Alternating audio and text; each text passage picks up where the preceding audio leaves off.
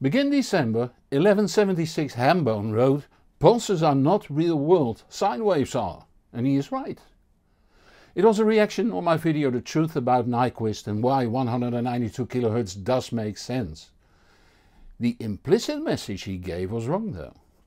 Digital audio does not output pulses but sine waves just as analog equipment. Yet I understand his remark.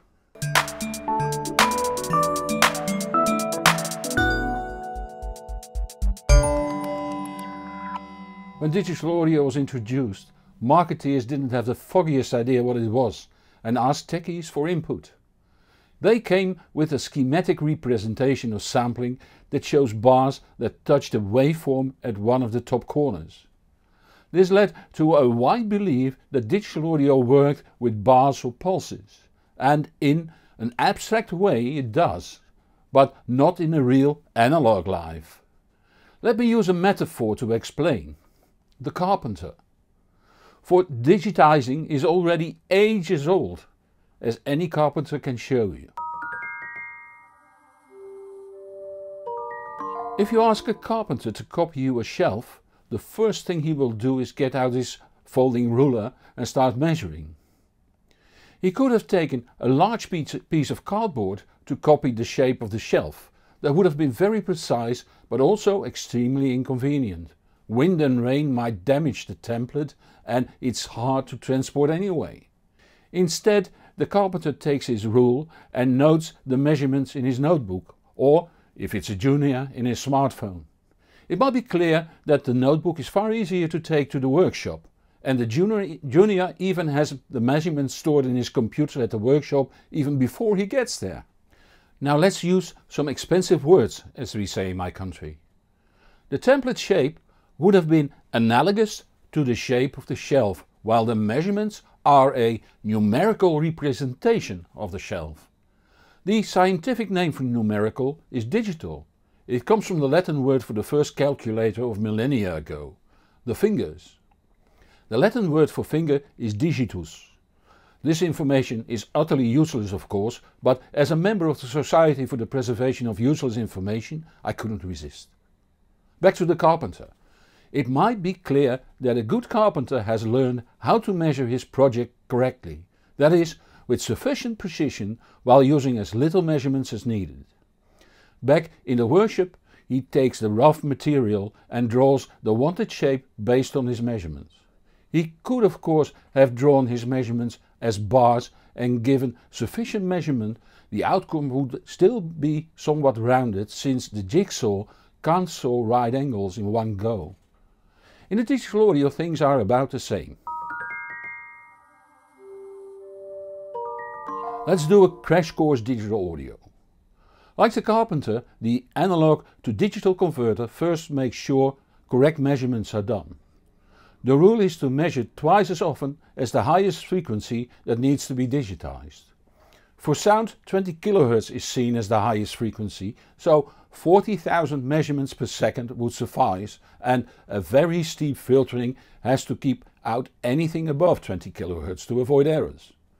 In practice 44,100 times is used, technicians speak of a sampling rate of 44.1 kHz. Time to digitize. We start by taking a very small piece of an analog waveform that for better understanding, is an unnatural straight line. Horizontally the time is projected while the amplitude is projected vertically. Now the signal is measured every 44.1 thousandth of a second and the values are written to a table. This table can be stored for future use or transported to another location. At the place of reproduction the table is read again and used to plot the voltages by means of a digital to analog converter. When passed through the reconstruction filter, the straight line reappears unless something went wrong. The biggest problem that can occur is inaccurate timing of the reconstruction of the voltages. For then the straight line doesn't become a straight line again as can be seen here. The second potential problem of course is that the plotted voltages deviate from the original, being higher or lower than intended. but this hardly ever happens nowadays, at least not to the degree that it will become easily audible. Okay, 1176 Hambone wanted a sine wave, so let's digitize a part of a sine wave. It's the same again, voltages are measured and stored in a table. If we now take away the waveform you can see on the left a graphic representation of the values on the right. And you can still see the waveform in it. In playback that waveform will be reconstructed perfectly minus small errors that always occur during conversion or analog recording by the way. But there are those, and I expect 1176 Hambone to be amongst them, that think the reconstruction will be like this. Again, I can't blame him, for this is what the salespeople and advertising agencies have been promoting for years. It's wrong though. If you look at the first vertical jump that would need an instant rise in voltage, which is simply impossible since we have filtered the signal at 20 kHz, the system is limited in speed. If you would try to achieve this instant rise, the result would be more like this, slowly rising in time. It might be clear this representation is incorrect. Now if you connect the dots knowing the slowness of a 20 kHz limited system, you will end up with the original waveform again. It's like the jigsaw that is unable to saw right angles. Perfection is a goal, not a reality. But a well designed, built and set up digital system can come very close nowadays. The only real limitation today is the filtering that is needed at half the sampling rate. A filter at 20 kHz will cause time smearing below 20 kHz something advanced long filters can almost solve like the ones by Chord, PS Audio and others.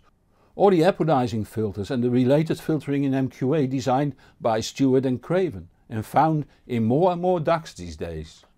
Especially when combined with 192 kHz sampling where less aggressive filtering can be used.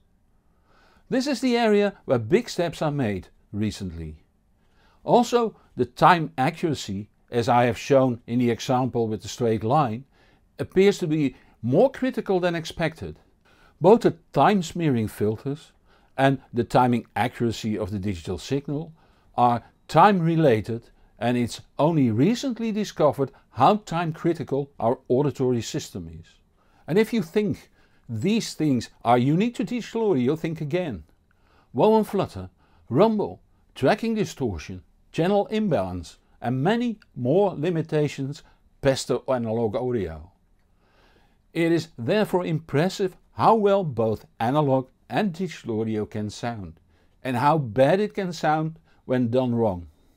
Still, the most impressive improvements happen in digital audio, especially in file-based audio and I will track new developments for you.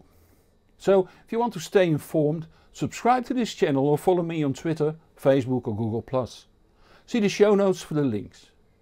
If you have a question post it below this video but please don't ask me for buying advice. See my about questions video to find out why. If you like this video please consider supporting the channel through Patreon and see super exclusive videos too. Just one dollar a month will do. The link is in the show notes. And don't forget to tell your friends on the web about this channel. I'm Hans Beekhuyzen Thank you for watching and see you in the next show or on the hbproject.com. And whatever you do, Enjoy the music.